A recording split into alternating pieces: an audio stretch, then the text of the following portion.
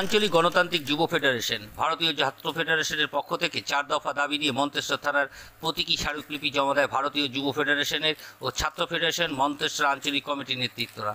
মন্তেশ্বরের আঞ্চলিক কমিটি, ভারতীয় যুব ফেডারেশন ও ছাত্র ফেডারেশনের সৈকত ঘোষ ও হেমন্ত মল্লিক, হাবিব মণ্ডলদের নেতৃত্বে দশজন প্রতিনিধি নিয়ে এগারোই এপ্রিল এসএফআই, ডিওয়াইএফআই, উত্তর চব্বিশ পরগনা কমিটির ডাকে উত্তর চব্বিশ পরগনা জেলা পরিষদ অভিযানে অংশগ্রহণকারী দশজন জেলে হেফাজতে থাকা কমরেডদের অবিলম্বে বিনা শর্তে মুক্তি দেওয়ার দাবি নিয়ে রাজ্য জুড়ে গণতান্ত্রিক পদ্ধতিতে আন্দোলনের ওপর সমস্ত মিথ্যা মামলা প্রত্যাহার করা, প্রত্যাহার করার দাবি ও শান্তি মিছিলে গণতান্ত্রিক আন্দোলনের উপরে পুলিশের অনৈতিক আক্রমণ বন্ধ করার দাবি সহ বিভিন্ন দাবি দাবা নিয়ে মন্তেশ্বর ভারপ্রাপ্ত আধিকারিক কুণাল বিশ্বাসের কাছে স্মারকলিপি জমা দিলেন মন্তেশ্বর আঞ্চলিক কমিটি যুব ফেডারেশন ও ছাত্র ফেডারেশনের নেতৃত্ব।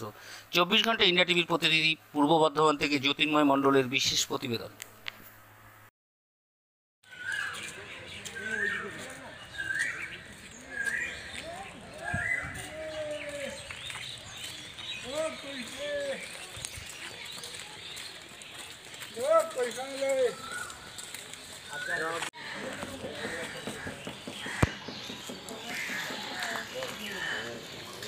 Yes, sir.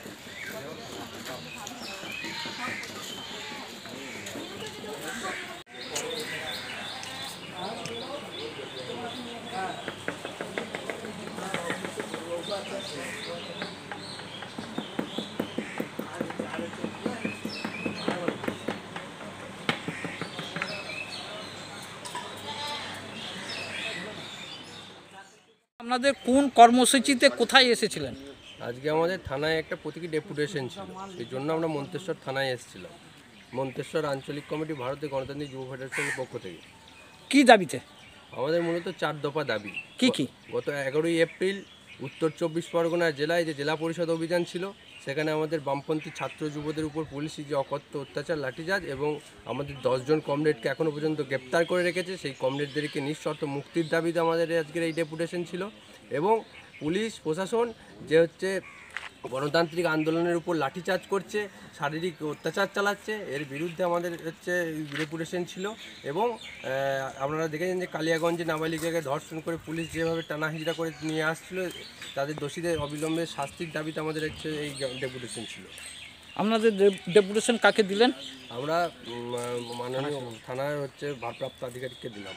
এই ডেপুটেশন দিয়ে আপনারা সন্তুষ্ট হয়েছেন? হ্যাঁ আপাতত আমরা সন্তুষ্ট আশ্বস্ত করেছেন? থানা যে আগামী যে পঞ্চায়েত নির্বাচন সেখানে যে মিথ্যা মামলা দিচ্ছে আমাদের কমরেডকে কমরেডদেরকে সেই মামলা হচ্ছে প্রত্যাহার যাতে করে নেয় সেই জন্য এবং হচ্ছে এটুকুনি বলেছে যে আমরা দেখছি ব্যাপারটা নিয়ে বিচার আলোচনা করছি ঠিক আছে? নিরপেক্ষ থাকার চেষ্টা করার জন্য আমরা বলেছি তাতে আমাদের আশ্বস্ত করেছেন ভারপ্রাপ্ত আধিকারিক।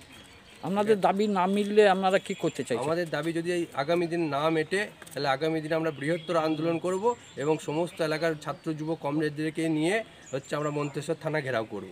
আপনাদের প্রতিনিধি দলে কতজন ছিলেন? আমরা মোটামুটি দশজন এসেছিলাম। দু একজনের নাম বলুন। যেমন আমাদের সভাপতি হাবিব মণ্ডল ছাত্র নেতা হচ্ছে হেমন্ত মল্লিক রহিম শেখ সর আপনার নাম পরিচয়? আমার নাম সৈকত ঘোষ। আমি মন্তেশ্বর আঞ্চলিক কমিটির সম্পাদক ডিওয়াইএফআই আজ এ পর্যন্ত সঙ্গে রাখুন চব্বিশ ঘণ্টা ইন্ডিয়া টিভি। দেখতে থাকুন সব জেলার সব খবর। সবার আগে চব্বিশ ঘণ্টা ইন্ডিয়া টিভির পর্দায়। নমস্কার।